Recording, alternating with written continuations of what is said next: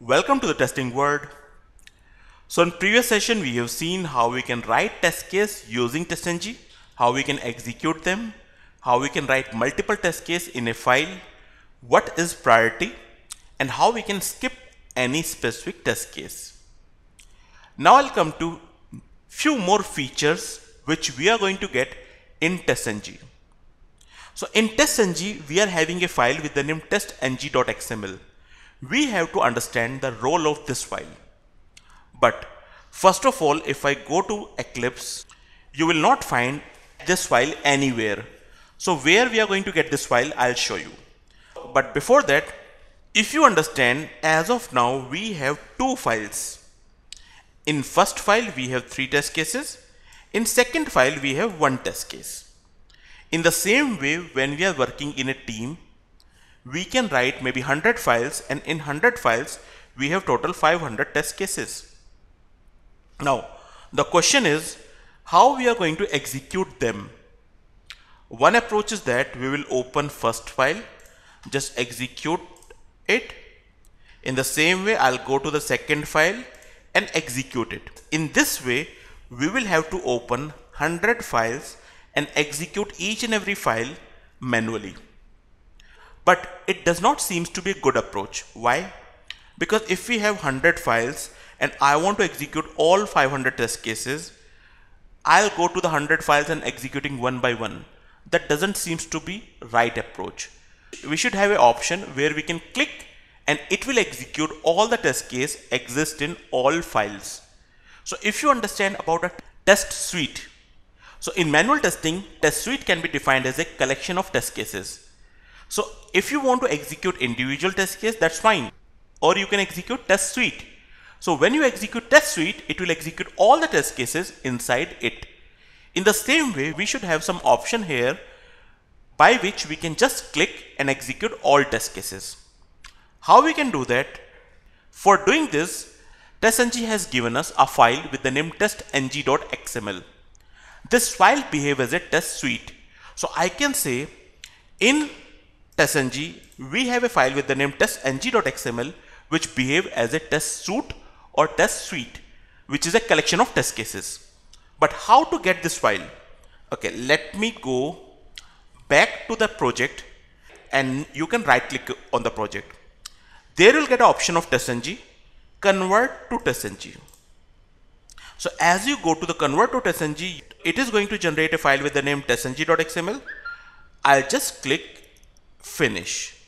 So as you click finish, it will generate a file with the name testng.xml. If you open that, you will notice, I'm going to the source, you will notice it already has the entry of all test case file that you have created. So if you can see, I have two files, A and B. There we have written the test case. It already has the entry of A and B.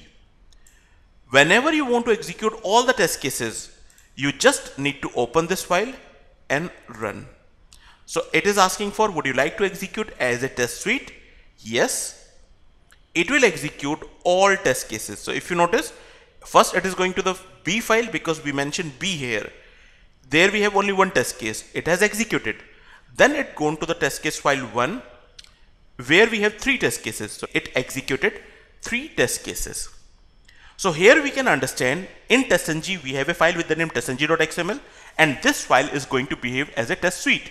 Advantage is that whenever we want to execute all the test cases, it just need one click. So by one click, it will execute all the test cases which are mentioned here.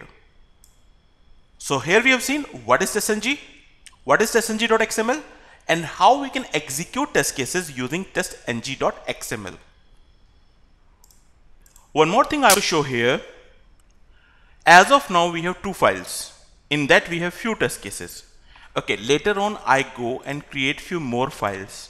So I create one more file with the name c.java and there also I am going to write one more test case. So now I'm just writing one more test case with the name tc004 and just printing that. Now point is, in the testng.xml, we have entry of two classes only. So how we can add the newly added class in this file. So we have two options. One option is that just go to the project, right click, testng, convert to testng. So now it will create a new file with three classes inside it. So what all the classes you are having at current point of time, it will add them in your testng.xml. That is one option. And this file will replace the existing file. So every time when you are adding new test cases, you can generate new file. That is one option. Other option could be, you, we know that these are the lines which are adding these test cases. So you can just copy this line and just put it over here. So here we need to give the package name and class name. So if you notice package name is testing and the class name is C.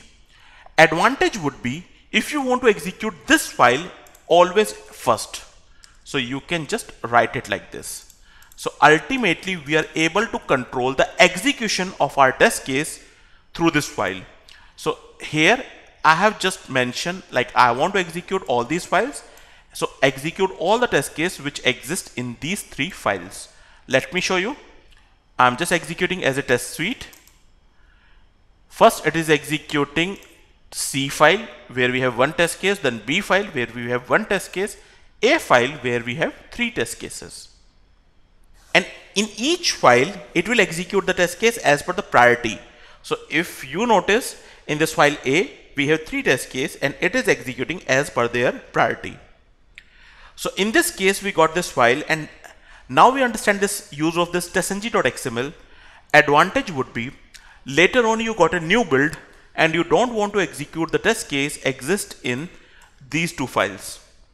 So you can simply just remove these two lines and execute your test suite.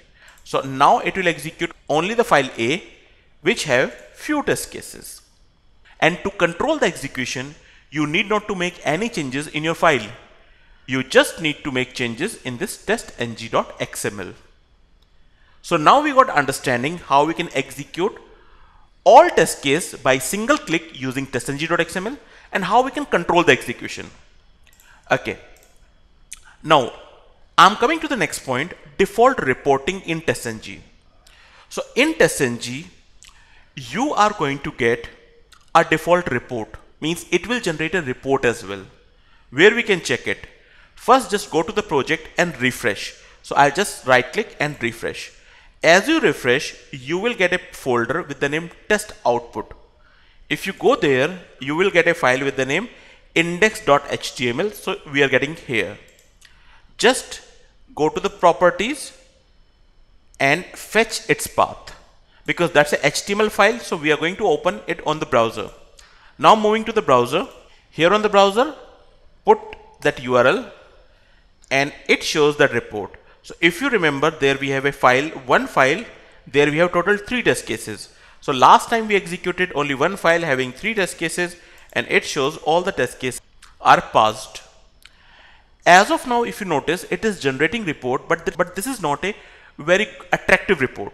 So later on, we are going to improve this report. In automation, we are going to generate very good reports. But that is the basic functionality we are having with TestNG. So I have shown you TestNG is also generating a basic report which we can use. Also, you'll get one more report here which is emailable report. So you can open that report on the browser as well. I'll just copy moving to browser and just put the URL. You'll get a file with the name emailable report. Here it shows three test cases, all are passed. If any of the test case is going to be failed, it will show you the reason but as of now, everything is passed. So it shows these are passed. So now we got understanding what is the default reporting option in TestNG. Next, we need to cover run failed test case only. But as of now, our all test cases are getting passed. So in next session, I'll show you how we can adding assertions, compare actual result with expected result. And there my test case is going to be failed. Then I'll show you this functionality where we can execute only failed test case. I'll show you that. So here in this session, we have seen what is testng.xml, how to execute test cases using testng.xml, default reporting options we are having here in testng. That's all we have. Thanks for watching this video.